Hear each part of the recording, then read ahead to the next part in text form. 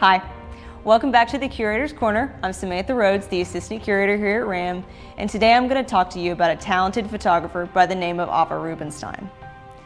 Eva worked primarily in the 1960s to 1970s, so consider that and her background when you consider and interpret her work. What Eva is best known for are her unique portraits, nudes, and domestic interiors. Her subject matter largely emphasizes ideas surrounding private or intimate moments. Before we consider her subject matter though, we should really talk about her printing technique. Photographs can be softened depending on the paper and ink that it's printed on. And it really changes the overall feel of the photograph.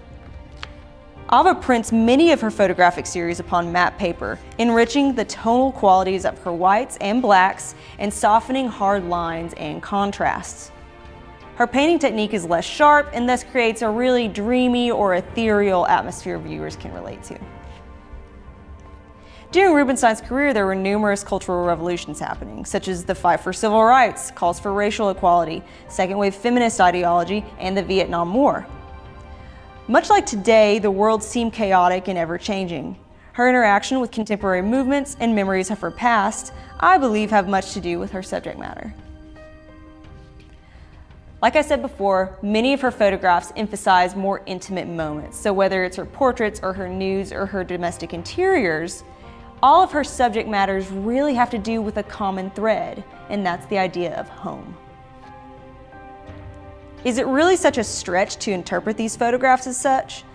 In light of her past fleeing violence from World War II, artistic ambitions of her family, and cultural revolutions, it's easy to see why during such a tumultuous time, Eva created photographs surrounding subjects evoking peace. Particularly in view of her career in photojournalism, it's no wonder her personal expression was so important to her. Photojournalism really displays difficult and hard truths about society, and these are pictures that really, as viewers, we would rather not see or consider.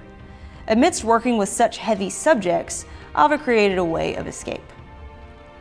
Inspired by the common beauties of portraits, billowing curtains, or light pouring into a bedroom, Eva creates a safe space and a peaceful environment from the outside world where all are invited.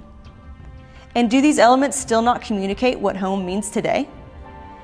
In our ever-changing and chaotic world, home has taken a new meaning where creativity and peace can still be found. RAM is proud to have such a unique series from Eva Rubinstein. I hope you can think about her work and what home means to you today. I hope you've enjoyed the Curator's Corner. Tune in again to find out more about RAM's permanent collection.